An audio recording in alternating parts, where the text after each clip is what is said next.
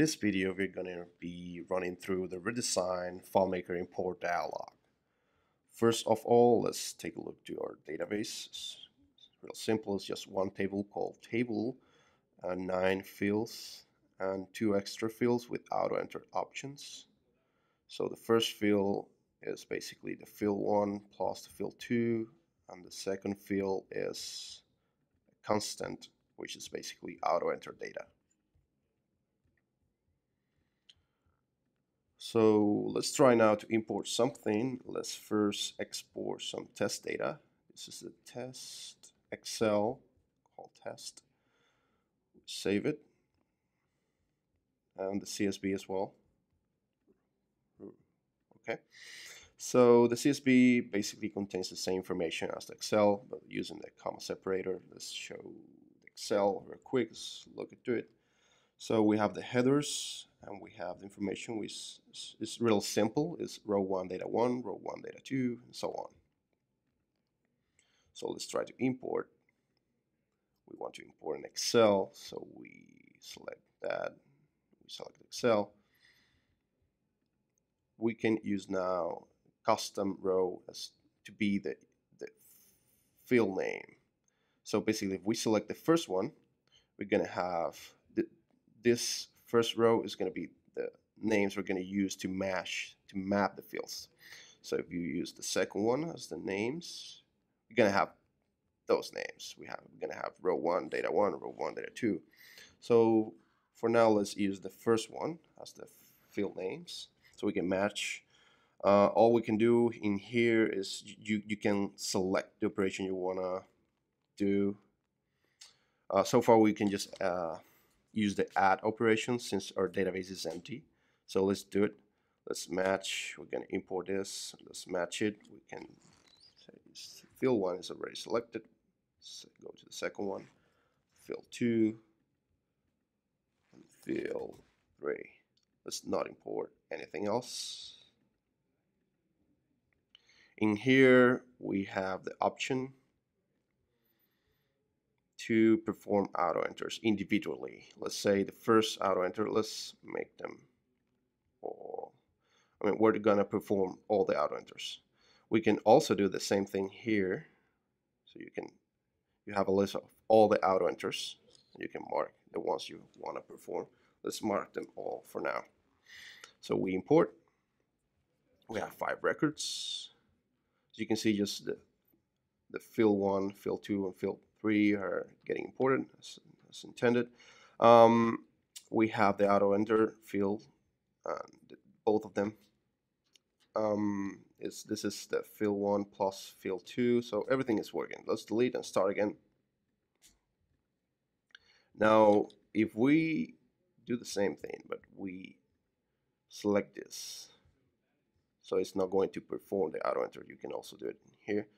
Uh, we try to import you're going to see that the first row is not going to be, uh, the first um, auto enter field is not going to be filled. It's not going to uh, trigger that um, auto enter.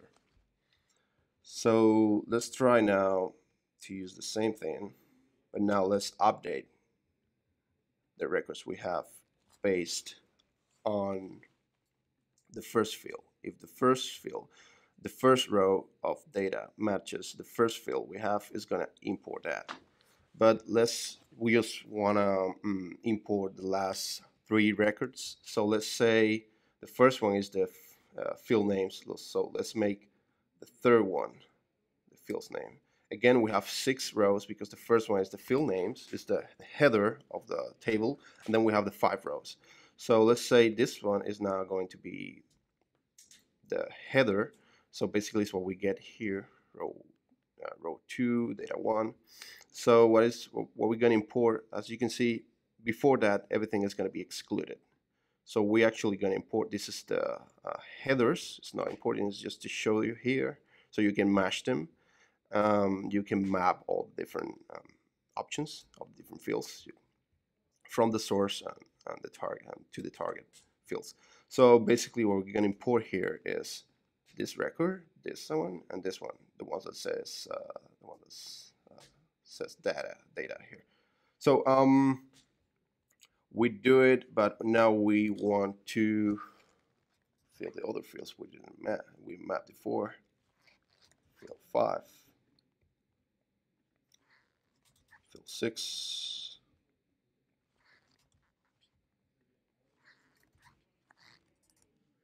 Field seven.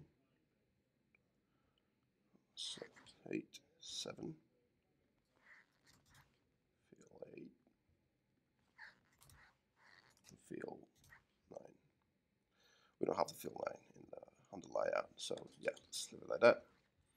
Match. We import, so we can see we can we we just um, updated three of them because we selected the third row, which which is basically the second row as the as a header of the table. So now we have we have updated just the last three records. You can see we see the field four, five, and six, seven, and eight. They are not empty, not empty, not empty, and then empty. So it's uh, it's pretty useful. This selection of the header here, just to parse that um, uh, source file without doing any extra uh, operations. So let's try now to import. Let's delete everything. Just to show you the last thing. Import the CSV. We select here CSV, comma separated values. We select the CSV and in here as you can see we still have the separators we have the limiters are basically the tab the comma semicolon but we also have this other option which is going to give it give us is giving us the option to select uh, a custom separator a custom delimiter. So basically is say is B nothing happening as you can see it's nothing happening because the one we have is still using the comma separator. As you can see everything is working now.